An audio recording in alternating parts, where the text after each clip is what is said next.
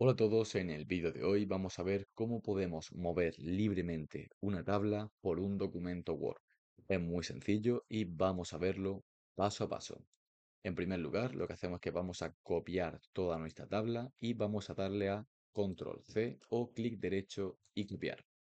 Seguidamente vamos justo arriba donde dice Insertar y vamos a darle a Cuadro de texto, que es esta opción de aquí.